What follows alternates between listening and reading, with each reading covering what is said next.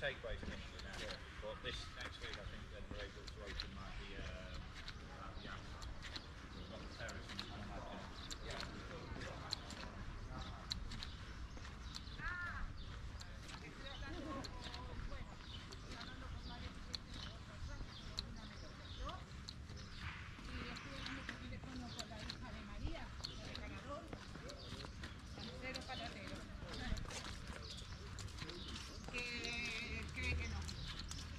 dice que recién en agosto.